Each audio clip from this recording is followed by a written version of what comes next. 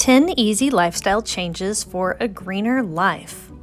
Number one, shop in season and buy your food from the farmer's market. Buying local is good for the community, it's often healthier, and it's a greener way to live. Number two, borrow instead of buy. If someone has tools you can use or clothes that you need to borrow, consider just taking them and giving them back instead of having to buy new ones.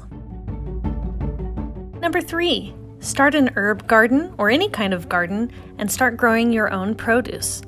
Also, consider planting native plants that are good for pollinators.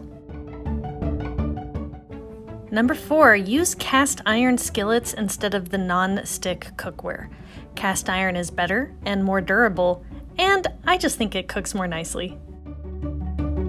When giving gifts, instead of buying an item, buy an experience such as movie tickets, or a gift certificate to your favorite restaurant, or something that a person can use instead of new stuff.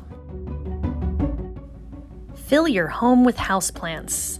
Plants are great, not just for the air quality, but they also look beautiful. Find clever ways to reuse water.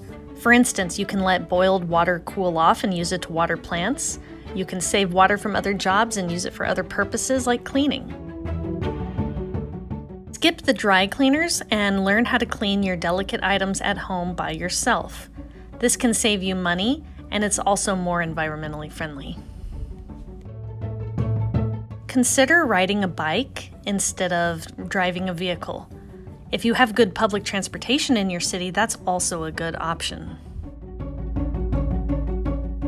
And finally, bring your to go items with you everywhere you go.